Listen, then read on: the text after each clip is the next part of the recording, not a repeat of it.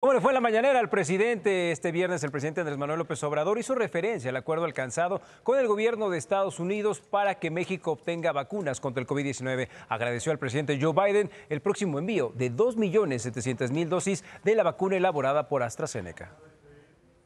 El gobierno de Estados Unidos ha decidido ayudarnos y enviar dos millones setecientas mil dosis de vacuna AstraZeneca.